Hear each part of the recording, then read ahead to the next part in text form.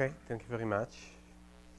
Uh, okay, so before I delve into the information theoretic arguments for circuit lower bounds, uh, let's start with uh, complexity theory in general. So what we do in complexity theory or computational complexity theory is trying to understand what is hard to compute, what is hard for computation, for computers in particular, but computation is not just about computers.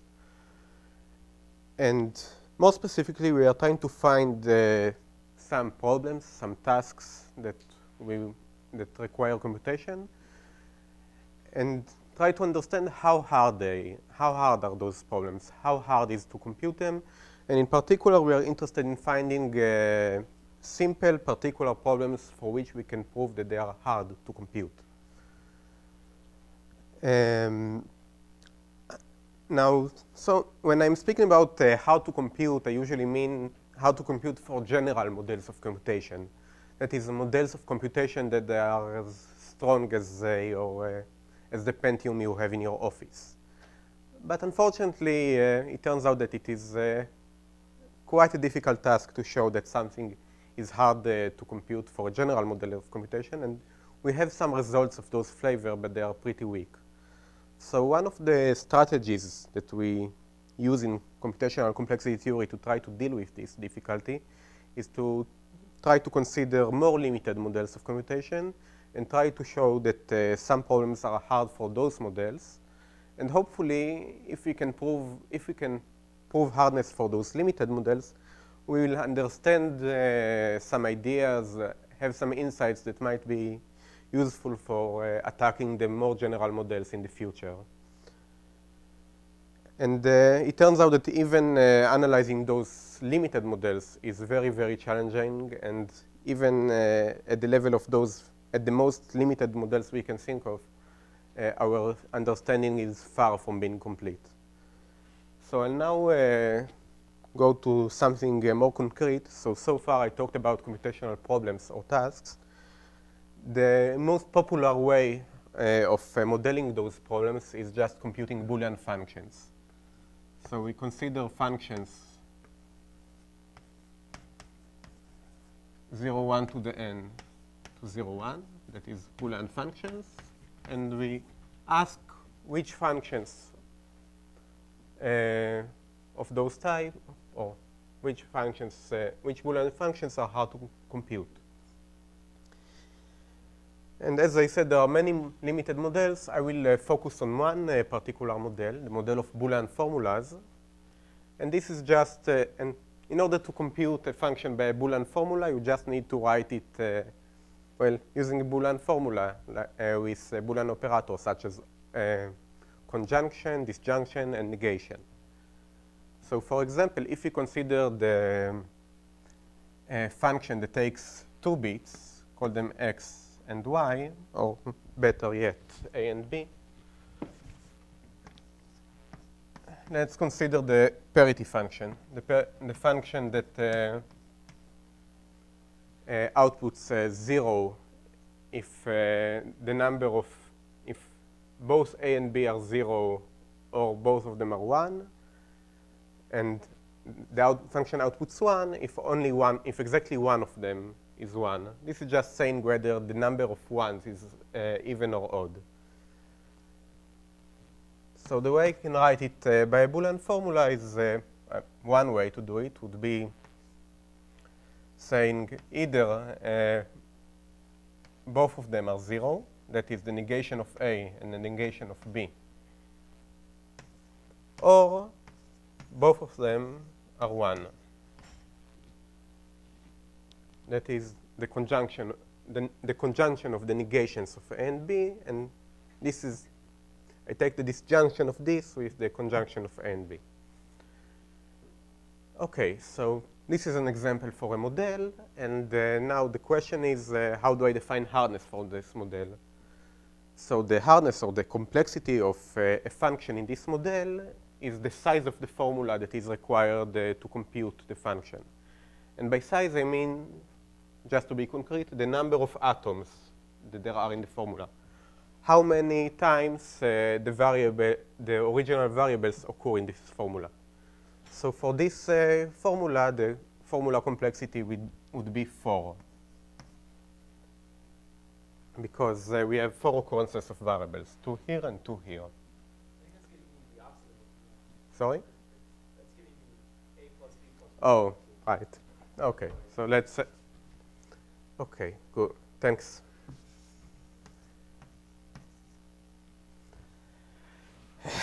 okay. No. Oh. Now I understand the laughing. Okay, sorry about it. Yes, exactly. Uh, okay, so we have this uh, problem about. Uh, so this is the definition of the complex, the formula complexity of a function. So what can we tell about it? So more generally, we can say that uh, the parity of n bits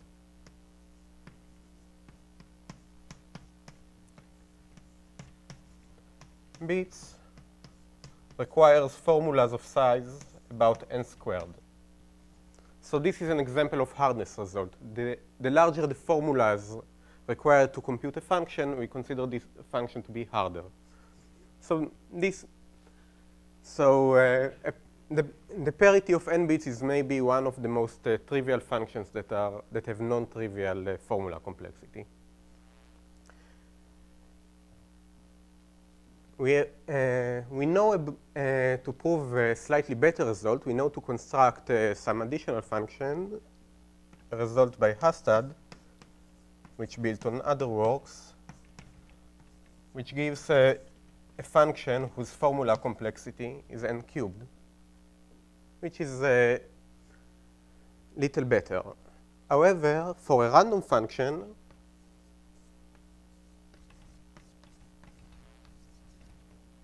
on n bits,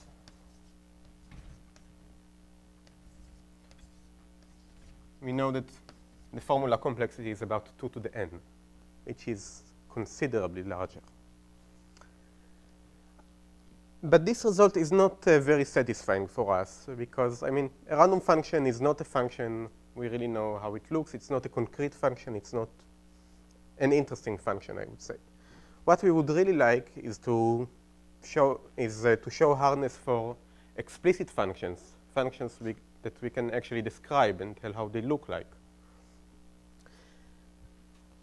And uh, closing uh, this gap, or even narrowing it just by a bit, uh, is a major uh, open question of uh, computational complexity theory. okay, so and and the question now is how can we approach it? So there are multiple uh, techniques uh, for proving such uh, things, and I would like to focus on one of them. How much time do I. Do I have left? Okay, great.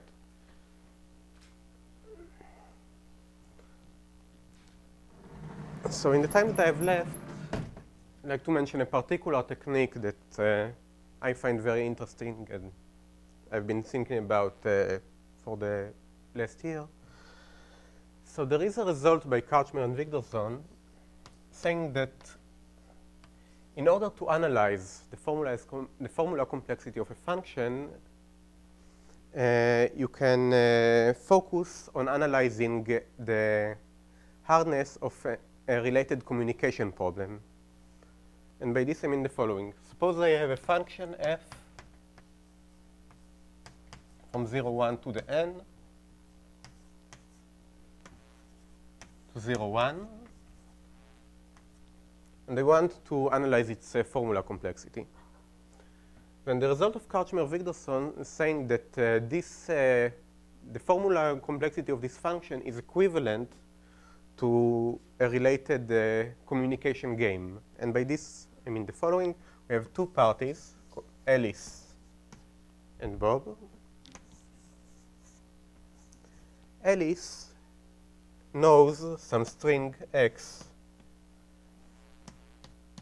in the on which uh, f outputs 0 and Bob knows uh, some string y on which f outputs 1. And the question are, now is how many bits Alice and Bob need to tell to one another in order to find a coordinate i such that xi differ from yi. Clearly, x and y are different strings, so such a coordinate must exist. And the question, and the question here now is information is an information uh, theoretic question. How many bits they need to exchange in order uh, to find out such a coordinate? So they, they both know f, and they just need to find out i. And it turns out that uh, if the amount of bits they need to communicate is uh, c, then this means that the formula complexity of f is roughly 2 to the c. And I'm omitting here a few technical uh, details. I mean, it, what I've said is formally not true, but essentially it's true. And I could have uh, made it technically true, but uh, this would require a little more work. Um, and this is actually if and only if. And the reason I think it's very interesting is because this translates our original problem to a problem about communication. And communication is somehow something that we in computer science understand much better than formula complexity or computation in general. And in particular, in the last that doesn't mean that uh, it will be easy. Uh, this result is uh, about 20 years old, and still we haven't managed to do a lot with this technique. But uh, still, uh, there may be some hope. And in particular, in the last decade, uh, we have seen some techniques, some new techniques using infor information theory to analyze communication games in general. And what I've been doing mostly during those last few months is trying to see if uh, we can apply those new information theoretic techniques uh, to the particular uh, setting of those Karchmer-Wigderson communication games. Um, okay, so just um, how much time do I have? Great. Okay, so, ju so just to finish, I'll uh, give a nice example of how you can prove a lower bound like this easily using this uh, idea, and this is, a this is a, a, result or a proof of uh, Karchmer and from the original paper. So suppose I wish to prove that uh, the parity function on n bits requires formulas of n squared size. This means I want uh, to prove that this that if Alice has a string whose parity is 0 and Bob has a string whose parity is 1, they need to exchange 2 log n bits. So suppose that I draw the bits, the strings x and y from the following distribution. x, y are uniformly distributed.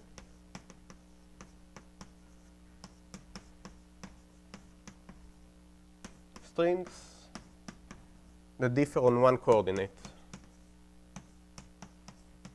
Exactly one coordinate.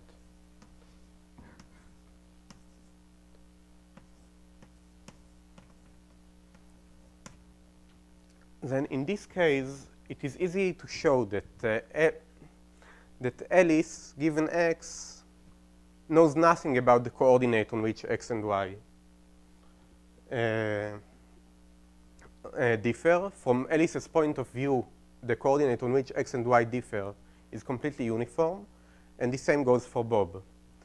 This means that if they find the, this coordinate, each of them has to learn log n bits of information, because this is the amount of information there is in a uniformly distributed number from 1 to n. But if each of them has to learn log n bits of information, then each of them has to transmit log n bits. And in total, the number of bits uh, that they both transmit is 2 times log n, which is what we wanted to prove. Okay, I think I'll finish here.